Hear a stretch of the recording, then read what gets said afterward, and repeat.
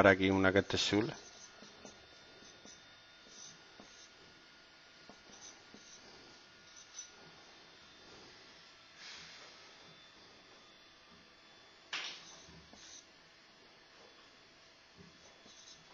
Venga, estos dos puntos. Menos 1, 5. Y 2 menos 4.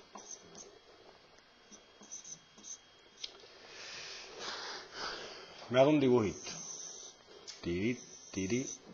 1, 2, 3, 4, 5. 1, 2, 3, 4, 5. Y me dibujo los dos puntos. menos 1, 5. 2 menos 4. Tiki, tiki, tiki, tiki, tiki, tiki, tiki, tiki, tiki, tiki, tiki. Y hago el mismo triangulito de antes. Tiki, tiki, tiki, tiki, tiki. Tiki, tiki, tiki, tiki, tiki.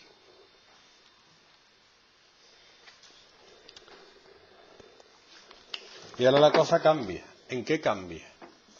En que estaba para abajo. ¿Vale?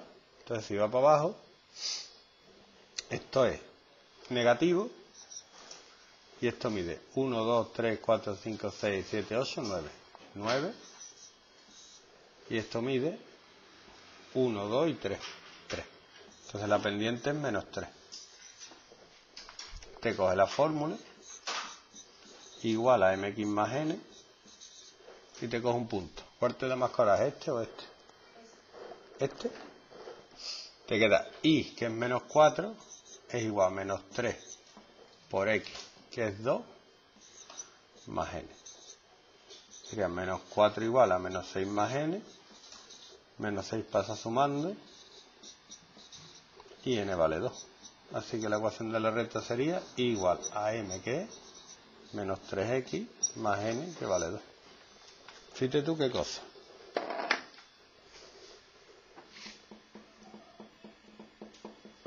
Y ahora te reto a que tú te hagas misma los ejercicios, que te hagas tú una recta. Por ejemplo, 2x menos 3.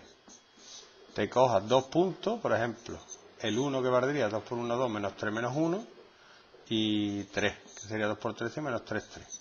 Y saques tú a partir de los dos puntos estos que has sacado, esta ecuación, haciendo todo esto que he yo aquí. Te puedes inventar todos los que quieras.